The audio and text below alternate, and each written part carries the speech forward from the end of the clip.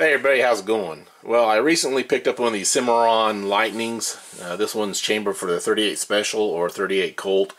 Has the 3.5 inch barrel.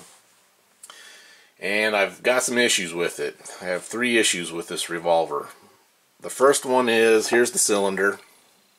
And you can see it's got these raised areas right here between the chambers. I don't know why they exactly have this. Oop, my light went off. Motion sensor. Come on, turn back on. Come on. There you go. So, you can see right there, it's got the raised se uh, sections right there. Why, I don't know.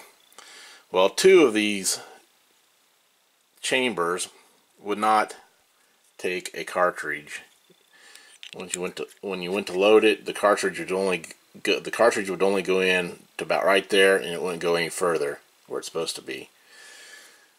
Well, turns out, you can see these edges right here.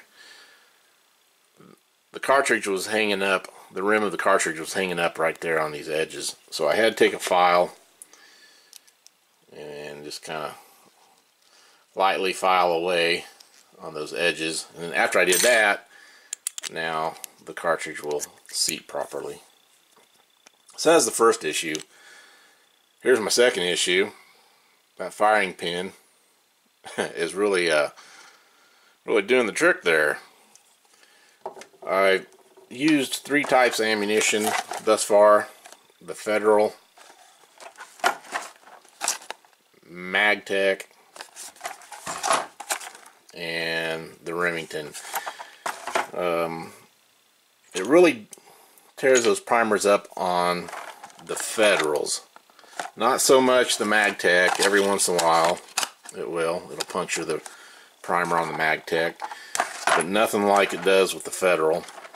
Uh, and, but I don't notice it on the uh, Remington brass.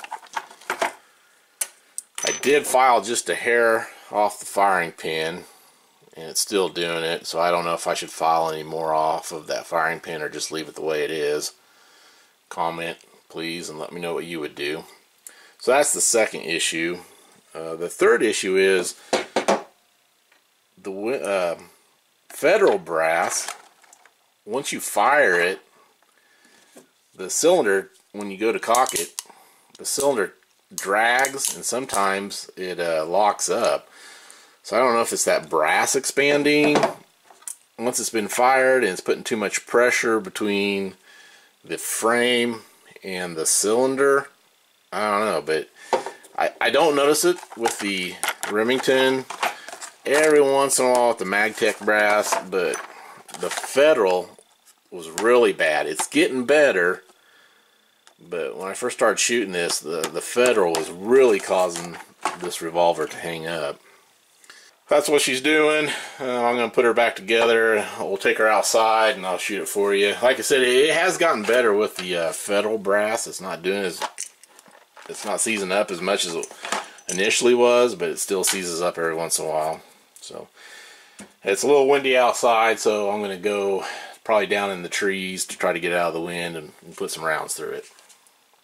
So I'm going to start off with these MagTech yeah, these are 158 grain lead round nose. Right there.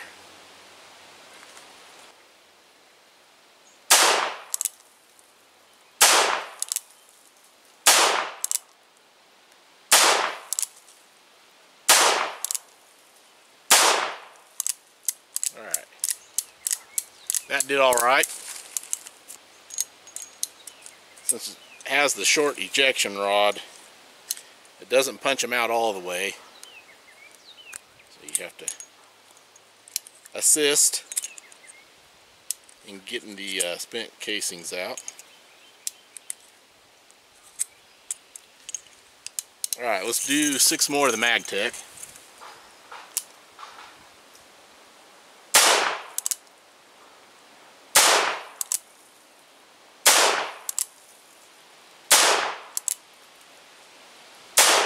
Shooting a little, it's, it's hitting a little low. And it's kind of binding up a little bit. right there that was so I don't know if the brass is expanding and then it's just too tight against that frame it starts dragging like right there it doesn't do that when it's unfired brass but after you fire it, it kind of starts to drag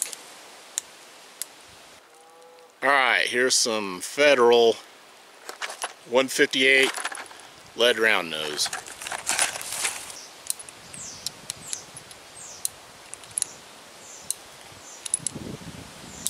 Alright.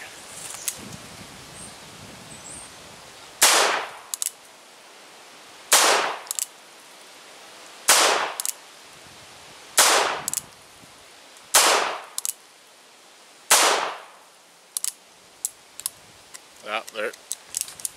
She's locking up. There she's locked up.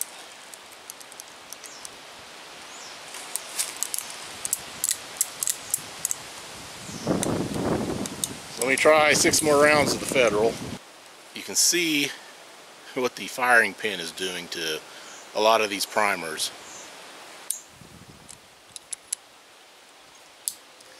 Alright, unfired brass,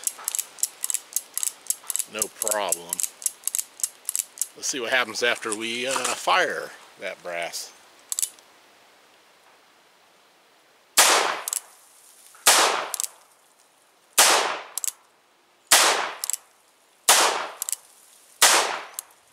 Locked up. There we go.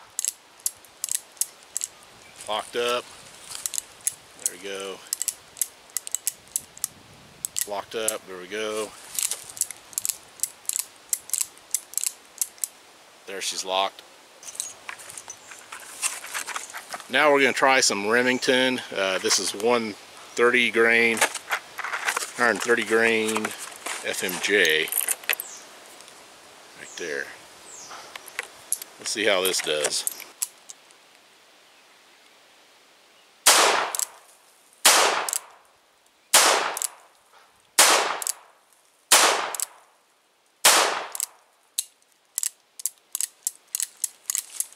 And that spent brass seems to be alright, not locking up any or offering any resistance. So let's try six more of the Remington.